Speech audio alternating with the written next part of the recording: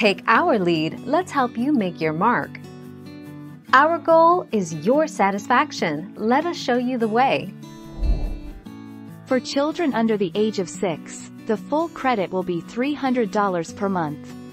The full credit is available to all eligible children in families with 2020 or 2019 adjusted gross income of less than $75,000 for single parents and $150,000 for a married couple filing jointly.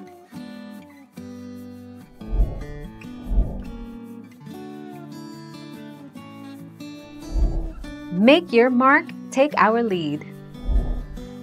In a nutshell, families making less than $150,000 a year and single parents making less than $112,500 are now eligible for a credit of up to $3,600 per child. Payments are slated to begin going out in July to 39 million households, according to the IRS.